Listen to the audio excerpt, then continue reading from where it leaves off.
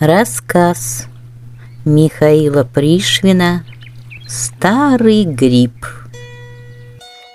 Была у нас революция в 1905 году. Тогда мой друг был в расцвете молодых сил и сражался на баррикадах на Пресне. Незнакомые люди, встречаясь с ним, называли его братом – Скажи, брат, спросят его, где? И назовут улицу. И брат ответит, где эта улица. Пришла Первая мировая война 1914 года. И слышу, говорят ему, «Отец, скажи!» И стали не братом звать, а отцом. Пришла последняя большая революция. У моего друга в бороде и на голове показались белые, серебряные волосы. Те, кто его знал до революции, встречались теперь, смотрели на бело-серебряные волосы и говорили, «Ты что ж, отец, стал мукой торговать?» «Да нет», — отвечал он, — «серебром, но дело не в этом. Его настоящее дело было служить обществу. И еще он был врач и лечил людей. И еще он был очень добрый человек. И всем, кто к нему обращался за советом, во всем помогал. И так, работая с утра до поздней ночи, он прожил лет пятнадцать при советской власти. И слышу однажды на улице, кто-то его останавливает. «Дедушка, дедушка, скажи...» И стал мой друг, прежний мальчик, с кем мы в старинной гимназии на одной скамейке сидели дедушкой. Так вот все время и проходит — да просто летит время, оглянуться не успеешь. Ну хорошо, я продолжаю о друге. Белеет и белеет наш дедушка. И так наступает, наконец, день великого праздника нашей победы над немцами. И дедушка, получив почетный пригласительный билет на Красную площадь, идет под зонтиком – и дождя не боится. Так проходим мы к площади Свердлова и видим там за цепью милиционеров вокруг всей площади войска. Молодец к молодцу! Сырость вокруг от дождя. А глянешь на них, как они стоят. И сделается, будто погода стоит очень хорошая стали мы предъявлять свои пропуска. И тут, откуда ни возьмись, мальчишка какой-то озорник, наверное, задумал как-нибудь на парад прошмыгнуть. Увидел его озорник, моего старого друга под зонтиком, и говорит ему, «А ты зачем идешь, старый гриб?» Обидно мне стало, признаюсь, очень обидно. Я тут рассердился и цап – этого мальчишку за шиворот. Он же вырвался, прыгнул, как заяц, на прыжке оглянулся и удрал. Парад на Красной площади вытеснил на время из моей памяти мальчишку и старый гриб. Но когда я пришел домой и прилег отдохнуть, старый гриб мне опять вспомнился – и я так сказал невидимому озорнику. А чем же молодой-то гриб лучше старого? Молодой просится на сковородку, а старый сеет споры будущего и живет для других новых грибов. И вспомнилась мне одна сыроежка в лесу, где я постоянно грибы собираю – а было это под осень. когда березки и осинки начинают сыпать на молодые елочки вниз золотые красные пятачки. День был теплый и даже паркий, когда грибы лезут из влажной теплой земли. В такой день бывает ты все дочисто выберешь, вскоре за тобой пойдет другой грибник и тут же с того самого места опять собирает. Ты берешь, а грибы все лезут и лезут. Вот такой и был теперь грибной паркий день. Но в этот раз мне с грибами не везло.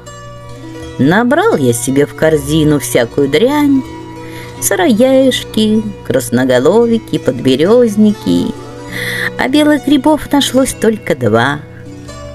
Будь бы боровики настоящие грибы, стал бы я, старый человек, наклоняться за черным грибом. Но что делать, по нужде наклонишься и сыроежке. Очень жарко было, и от поклонов моих загорелось у меня все внутри, и до смерти пить захотелось. Но не идти же в такой день домой с одними черными-то грибами. Времени-то было впереди еще много, чтобы и поискать белых. Бывают ручейки в наших лесах. От ручейков расходятся лапки, от лапок мочежонки или просто даже потные места. До того мне пить хотелось, что, пожалуй, бы даже и мокрой землицы попробовал – но ручей был очень далеко, а дождевая туча еще дальше. До ручья ноги не доведут, а до тучи не хватит рук.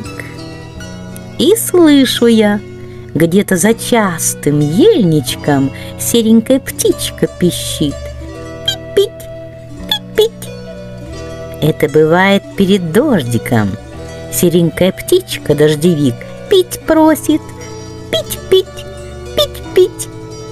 «Вот дурочка!» — сказал я. «Так вот тебе тучка-то и послушается!» Поглядел на небо. «И где тут дождаться дождя-то? Чистое небо над нами, и от земли пар идет, как в бане!» Эх, что ж тут делать-то, как быть? А птичка тоже по-своему все пищит – Усмехнулся я тут сам себе, что вот какой я старый человек, сколько жил, столько видел всего на свете, столько узнал, а тут просто птичка, и у нас ни одно желание. «Дай-ка», — сказал я себе, — «погляжу на товарища». Продвинулся я осторожно, бесшумно в частом ельнике, приподнял одну веточку. Ну вот и здравствуйте. Через это лесное оконце мне открылась поляна в лесу. Посередине ее две березы, а под березами пень. И рядом с пнем в зеленом брусничнике красная сыроежка. Да такая огромная, каких в жизни своей еще никогда не видел – она была такая старая, что края ее, как это бывает только у сыроежек, завернулись вверх. И от этого вся сыроежка была в точности как большая глубокая тарелка, притом еще наполненная водой. И повеселело у меня на душе. Вдруг вижу – Слетает с березы серая птичка, садится на край сыроежки и носиком тюк в воду. И головку вверх, чтобы капля в горло вошла. Пить-пить. Пищит ей другая птичка с березы. Листик там был на воде в тарелочке маленький, сухой, желтый. Вот птичка клюнет, вода дрогнет, и листик загуляет. А я-то из оконца вижу все — и радуюсь, да и не спешу. Много ли птички надо? Пусть себе напьется, нам хватит. Одна напилась, полетела на березу. другая спустилась и тоже села на край сыроежки. И та, что напилась, сверху кричит ей «Пить-пить! Пить-пить!» Вышел я из ельника так тихо, что птички не очень меня испугались, а только перелетели с одной березы на другую. Но пищать они стали неспокойно, как раньше, а с тревогой. И я их так понимал, что одна спрашивала «Выпьет?» Другая отвечала «Не выпьет». Это я так понимал, что они обе обо мне говорили и о тарелке с лесной водой. Одна загадывала, что выпью я, а другая спорила, что нет. «Выпью, выпью», — сказал я им вслух. Они еще чаще запищали свое «Выпит, выпит!» Но не так-то легко было мне выпить эту тарелку лесной воды. Конечно, можно было очень просто сделать, как делают все, кто не понимает лесной жизни, и в лес приходит только, чтобы себе взять чего-нибудь. Такой своим грибным ножиком осторожно подрезал бы сыроежку, поднял бы к себе, выпил бы воду, а ненужную ему шляпку от старого гриба шмякнул бы тут же о дерево. Вот и удаль какая! А по-моему, это было просто неумно.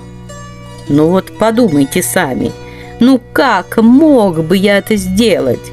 Если из старого гриба на моих глазах напились две птички. И мало ли кто пил без меня. Я вот, я сам, умирая от жажды, сейчас напьюсь. А после меня опять дождик нальет, и опять все станут пить. А там дальше уже созреют в грибе семена, споры. Ветер подхватит их, и рассеет по лесу для будущего. Эх, видно, делать нечего. Покряхтел я, покряхтел, опустился на свои старые колени и лег на живот. По нужде, говорю, поклонился я сыроежке. А птички-то, птички играют свое, Выпьет, не выпьет, выпьет, не выпьет. Ну уж нет, товарищи, сказал я им. Теперь больше не спорьте, теперь я добрался и выпью.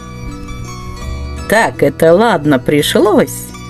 Когда я лег на живот, то мои запекшие губы сошлись как раз с холодными губами гриба. Но только бы хлебнуть, вижу перед собой в золотом кораблике из березового листа на тонкой своей паутинке спускается в грибное блюдце паучок. То ли это он поплавать захотел, то ли ему надо напиться. Эх, сколько ж вас тут желающих! А ну тебя! И в один дух выпил всю лесную чашу до дна. Возможно, я это от жалости к своему другу вспомнила о старом грибе и вам рассказал. Но рассказ о старом грибе — это только начало моего большого рассказа о лесе. А дальше будет о том, что случилось со мною, когда я напился живой воды. Это будут чудеса, не как в сказке о живой воде и мертвой, а настоящие. Как они совершаются везде и всюду, и во всякую минуту нашей жизни. Но только часто мы, имея глаза, их не видим, а имея уши, не слышим